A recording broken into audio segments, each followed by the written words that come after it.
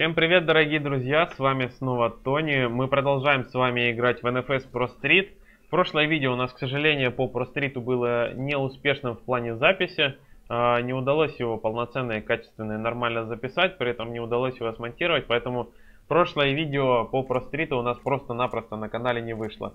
Мы проехали Battle Machine из тех а, заданий, которые у нас были. У нас появилось еще вот такое вот задание – Здесь дают машину, но мы его пропустим. И, собственно говоря, сегодня мы попрем на финал Super Promotion, где достаточно обширненько, я так понимаю, покатаемся на тех машинах, которые у нас есть.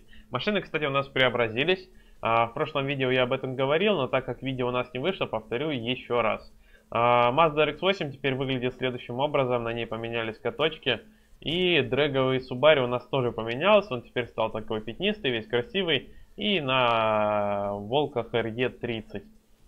Собственно говоря, а, все машины построены сугубо по моим автомобильным вкусам, мне они очень нравятся, а, и сами машины нравятся, и в целом все очень круто. Поэтому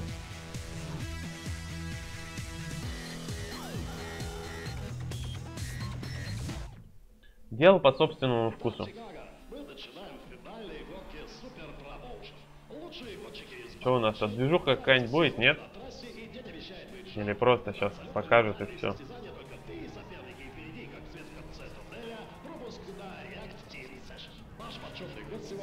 А?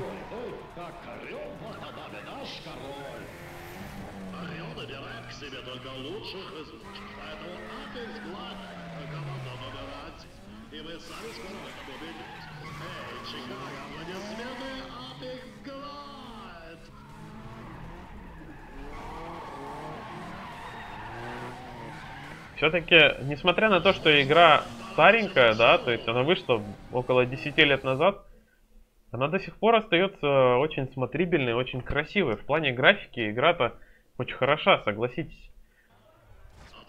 Поэтому лично мне она очень и очень и очень нравится. Мы в первую очередь поедем дрэгрейсинг, быстренько его пройдем, дабы на нем особо не заостряться.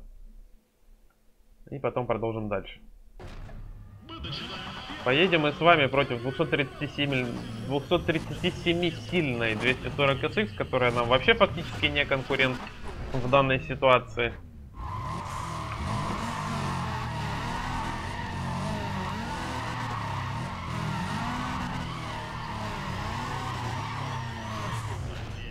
А, кстати, обе машины у нас стали заметно мощнее.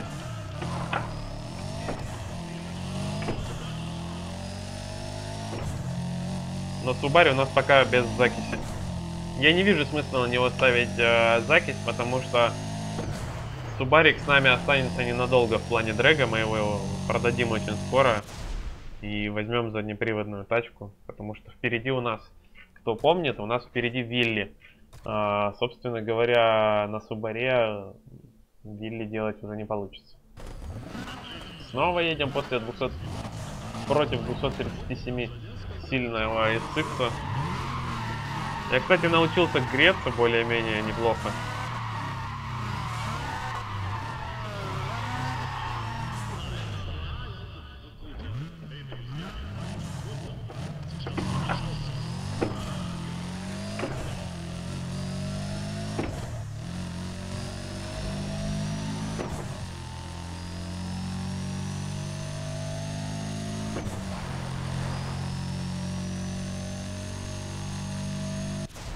Улучшились даже на 11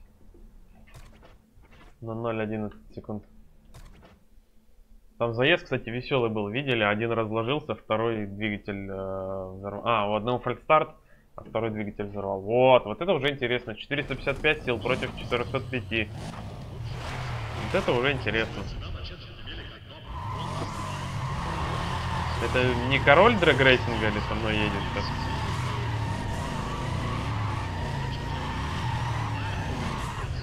Тачка очень похожа.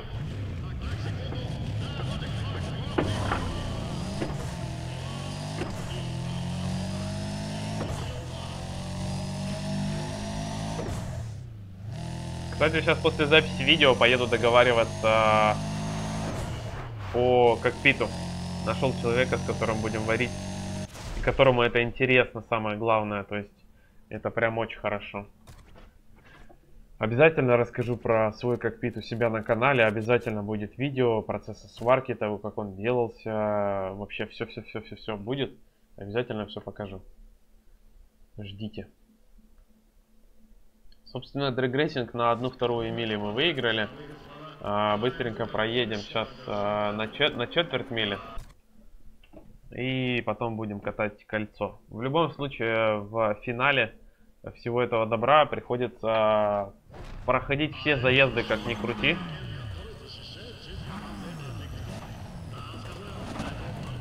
Немножко приубавлю громкость.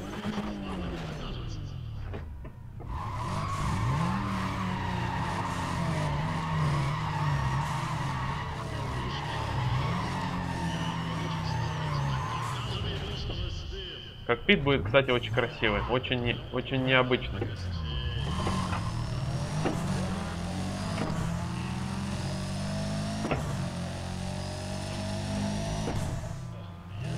Рано переключил.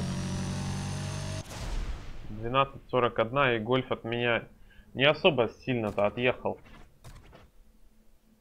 Все-таки в дрэгрейсинге в прострите Зак Сизота очень сильно решает вопрос. Против S3 302, 302 силы.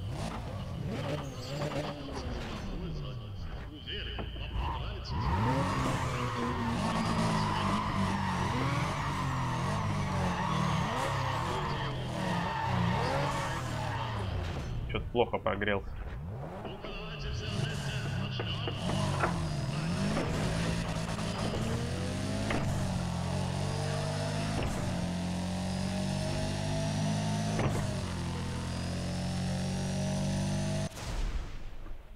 При условии того, что прощелкал переключение с первой на вторую, не воткнулась вторая. Очень даже неплохо проехали, на самом-то деле.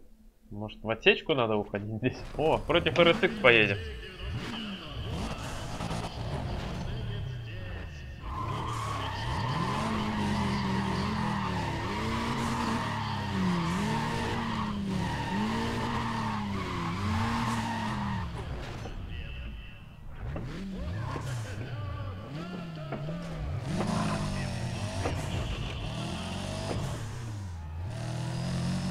Соперника фальстарт был, что ли? Что-то его вообще не слышно. Ну, очень плохой проезд. Медленнее, чем в прошлый раз. Нет, 18 секунд просто очень медленный какой-то. Какая-то тегра очень медленная была. Не захотела со мной ехать. Полный рост. Ну да ладно, черт бы с ней. Ну а теперь поехали самое интересное. Заезд на время, участки и грипп. Грипп у нас сложненький, поэтому поехали погриппуем. Только не поболеем, а покатаем кольцо. Погриппуем в прострите на самом деле звучит забавно. Не знаю почему, кстати, нельзя было просто взять и в игре назвать кольцевой заезд. Кольцо. А, не знаю. Ну как угодно, но почему грипп-то? Грипп это же прогрев зацеп, контакт. Как-то странненько все. Реально странненько. 384 силы в нашей RX-8. А против нас машины это заметно, заметно сильнее. Civic 6-стильный есть. Ух! Пушка-гонка, тачка. RX-8 э, тоже, кстати, претерпела изменения в плане э, настроек, тюнинга. Она стала несколько красивее, визуализация у нее поменялась несколько. Она стала мощнее.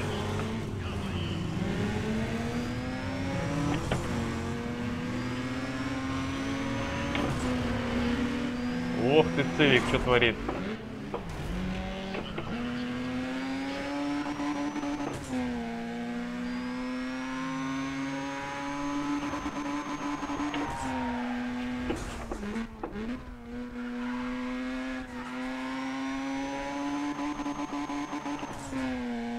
В Мазде появилась подвеска, появились э, нормальные шины, э, немножко доработанная трансмиссия. По-моему, по-моему, вообще первого уровня. И все, по-моему. Остальное все стоковое. Ну, турбина, естественно, стоит, но турбину мы ставили изначально, когда только ее купили. Я говорю о тех доработках, которые были в прошлом видео, но прошлое видео не вышло и не выйдет, к сожалению, на канале, потому что исходники я уже удалил. Ну, причину я озвучивал в начале, вы все ее прекрасно знаете теперь.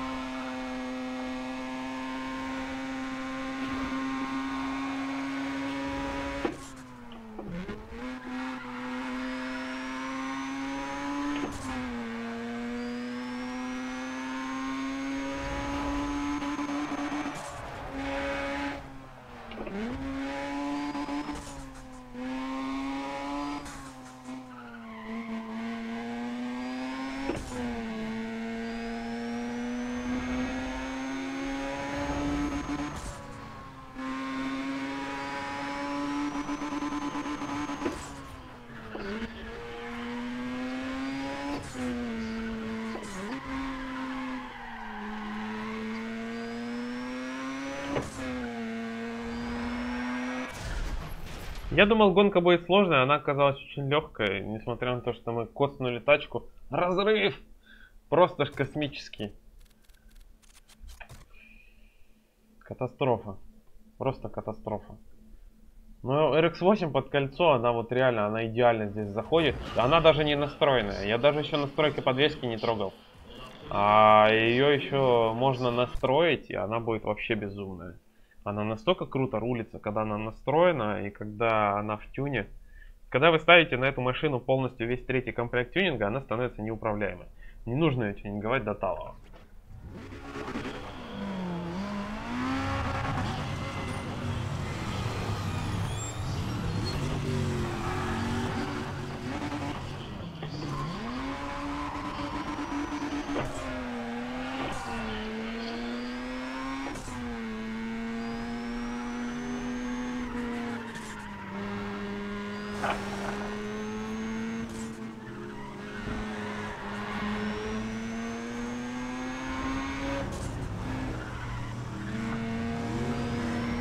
Вот на Рыксе еду, вообще не напрягает.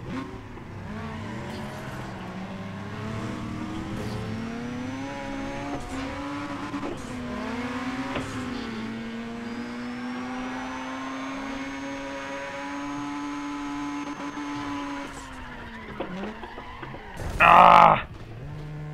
Что-то я это затроил, надо было реально помедленнее.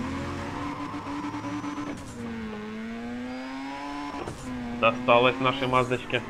Прощай, капот.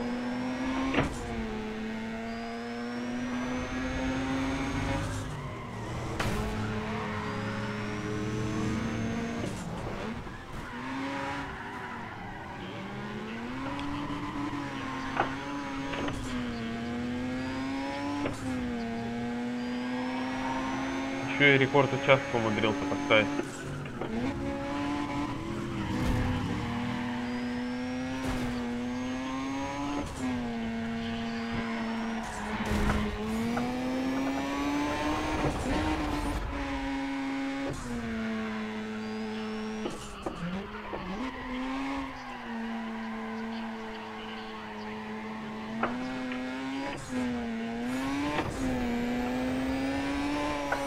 И финиш. На разбитой тачке, но финиш. Эх, собственный косяк, вот собственная невнимательность к чему привела. Взял, разбил машину. Теперь ремонтировать. Ну, благо это игра, и у нас есть жетоны. Так что это не проблема. Ну и все, я насколько понимаю. Нет? Ну ладно. Я починил машину за деньги, я дурак, вот по-моему, да? Я единичку нажал. Ну, блин.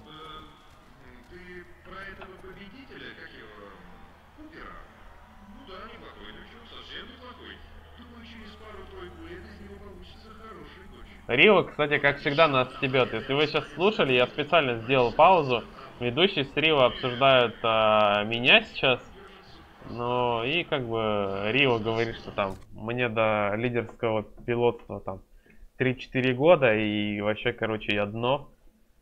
И все, короче, в этом духе. Забавный чувак, он вот реально в игре настолько спозиционирован отрицательно по отношению ко всем э, участникам, он постоянно всех э, обсирает.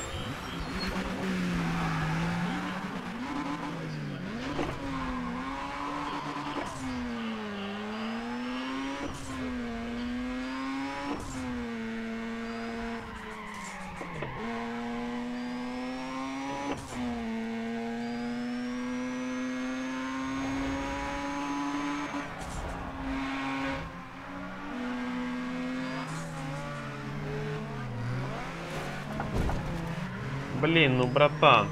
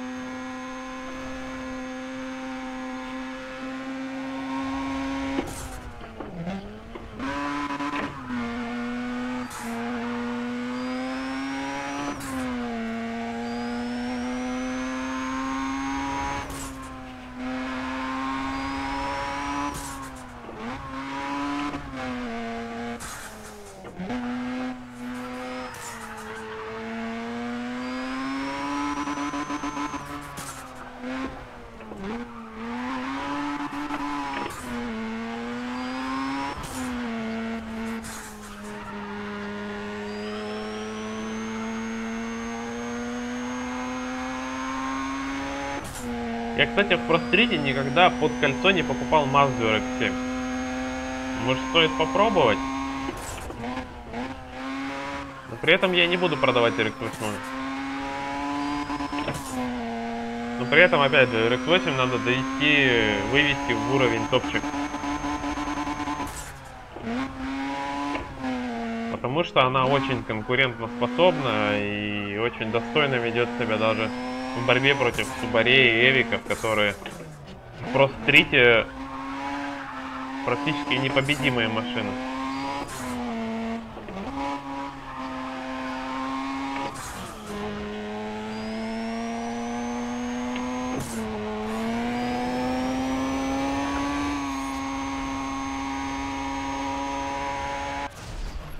За счет широкого экрана, моего широкого экрана, вы видите очень короткую часть капота, точно так же, как и я. И это не очень прикольно, все-таки хочется видеть полноразмерный капот, но увы. Ну и, собственно говоря, мы выиграли.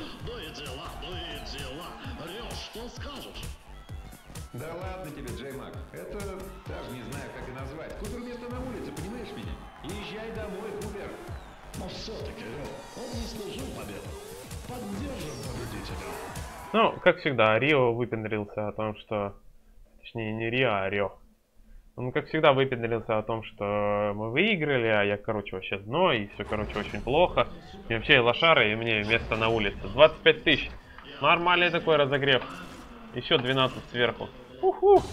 Хорошечно. Прям вообще отлично. Что у нас? Реакт открывается.